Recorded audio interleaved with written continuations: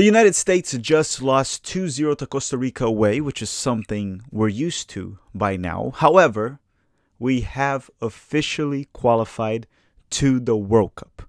Hi, if you're new here, I'm Filippo, and welcome to Tactical Manager TV, and welcome to another 7 Things We Learned episode where every day following a U.S. men's national team match, we do a video on the 7 things I learned from that match. Now, there's obviously much more than 7 things that we learned. Comment down below what you learned. I will most certainly be reading all of them. Now, we do leave this game against Costa Rica with mixed feelings, right? Happy that we qualified, but some poop in our mouth because, you know, we lost. And not that I have poop on my mouth or not that I have ever had poop in my mouth to know what it tastes like, but it's the taste that leaves on us, right? That's what we get from this 2-0 loss to Costa Rica's B team. So yeah, in this video, there's going to be some positives, some negatives. I can't be all positive because criticism is necessary, but I can't also be all negative because at the end of the day, we did qualify. With that said, this Friday, the World Cup group stage draw will happen and we'll be doing a live stream, a live watch along A11 Yanks.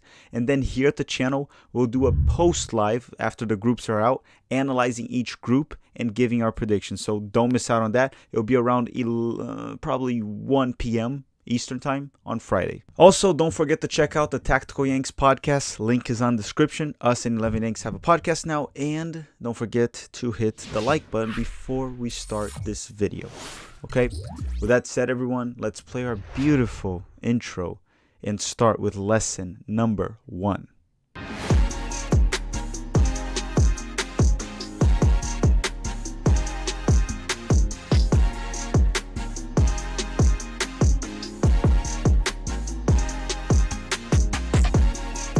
Lesson number one is be happy.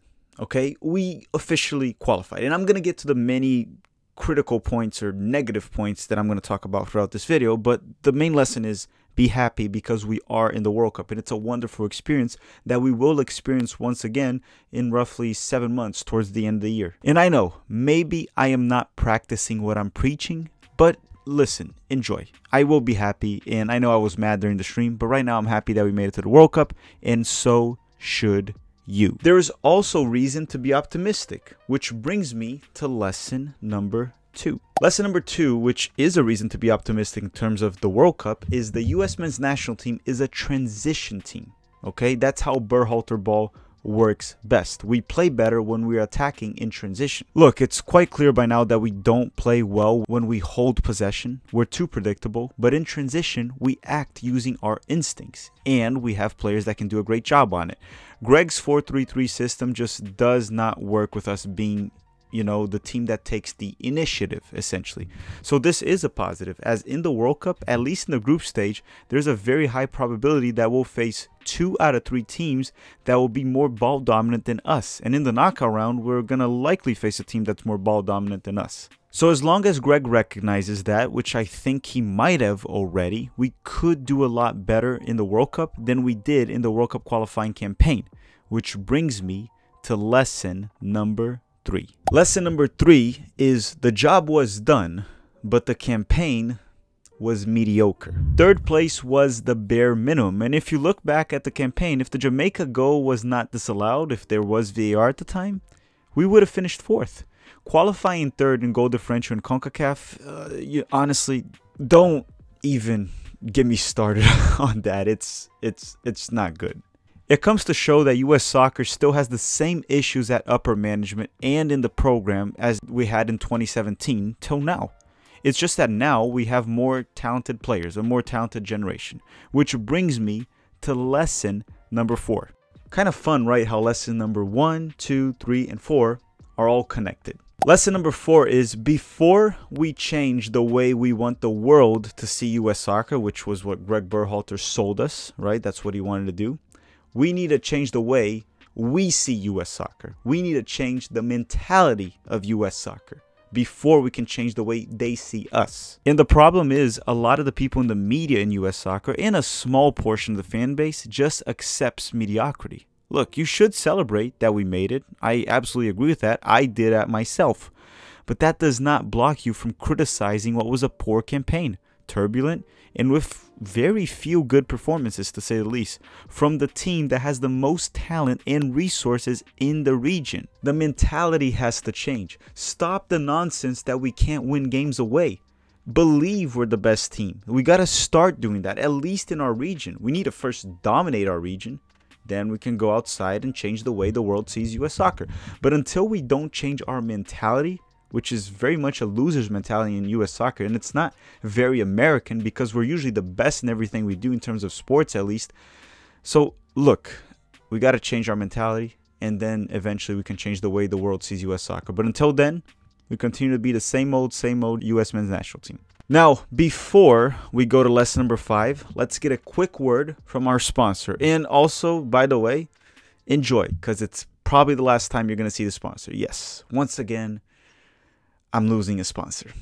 Tired of having big tech collecting all your data and spy on you? Well, our sponsor might have the solution to that. NordVPN is the world's best VPN service offering fast connectivity, most servers, and next generation encryption to make sure that everything you do online stays secure. Plus, you can use NordVPN on all your computer and devices no matter the operating system. With NordVPN's unlimited bandwidth, you never have to worry about a slow connection either. And plans start at under $4 per month. So grab your exclusive NordVPN deal right now by going to nordvpn.com slash Bleav. That is Bleav as in B-L-E-A-V. Use the code for 70% off on your NordVPN plan plus an additional free month. It's also risk free with NordVPN's 30 day money back guarantee. So, again, thank you, NordVPN, for sponsoring the channel. Lesson number five is about Greg Berhalter. And look, actually, more about the players. I know we're not big fans of Berhalter, including myself. In most of the campaign, a lot of the problems and mistakes that happened were on him. But this game specifically, I thought about it, thought about it, rewatched it. It's not really all on Greg. It's mostly on the players this game. Just try to see it this way. Zach Steffen was very bad to say the least. And I'm being nice by saying, picking the words that I'm using here, I'm being pretty nice. Walker Zimmerman, the first goal, how do you lose that? You were ahead of the guy. Should have been able to get that ball. Also, the lack of grit and determination from the team. They were just being okay with the result because they knew they were getting through with it regardless. It was upsetting to see that from our players, our very talented players that should be capable of beating Costa Rican's B team.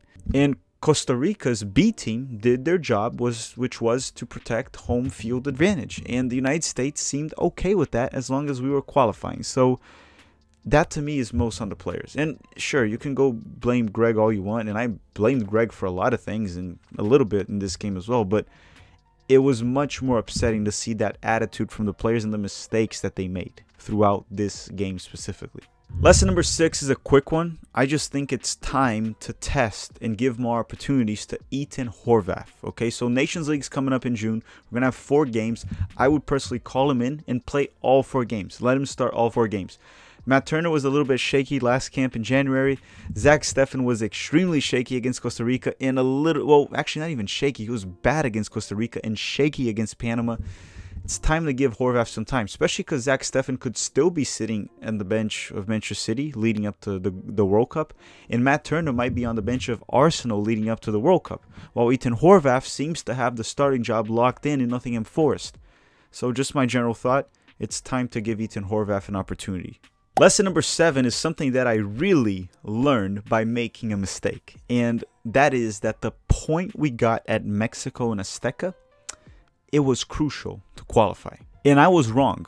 When I did several simulations, I never counted on Costa Rica getting nine points this window, which they did which made me believe that the point in Mexico would have been meaningless. But it was crucial because I was very much wrong and I underestimated Costa Rica's ability to get a nine point window. So, yeah, just like some people in the mainstream media that said the Mexico game wasn't meaningless, but it would either be win or lose, right? The draw wouldn't mean much. So, a lot of people in the media said the same, and I did too.